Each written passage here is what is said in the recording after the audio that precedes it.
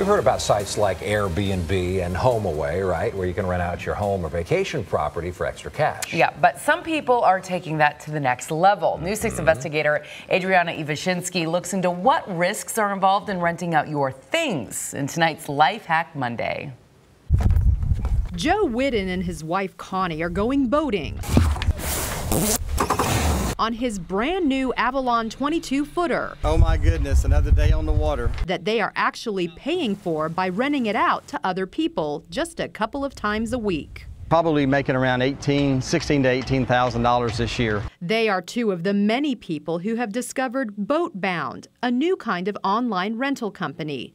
It allows boat owners like the Whittens to rent out their watercraft when they're not using it, and they can make several hundreds of dollars a day.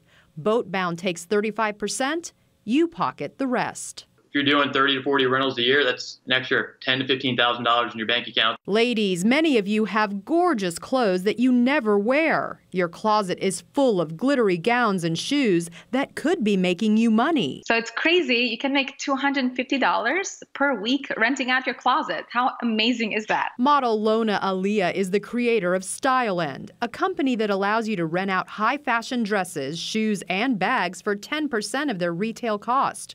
The more clothing you send them, the more money you make. We warehouse them, dry clean them, uh, take pictures of them, and then uh, when something rents, uh, they get 50% of each rental. So let's say you have a designer dress that retails for 500 bucks. StyleLend offers it for $50 to rent and you make 25. How's that for easy cash? Ever thought about renting out your bike? I mean, why not? It's not like you can possibly ride it all of the time. It's probably collecting dust in your garage as we speak. So why not rent it out? By the hour, by the day, or even by the week. On SpinLister, you set the rental price yourself. The company markets your bike and takes a 17.5% cut and even offers protection if the bike is stolen or damaged.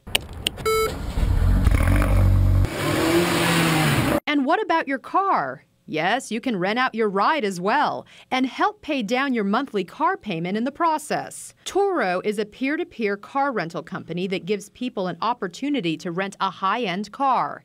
If you've got a sought after classic, this might be the site for you.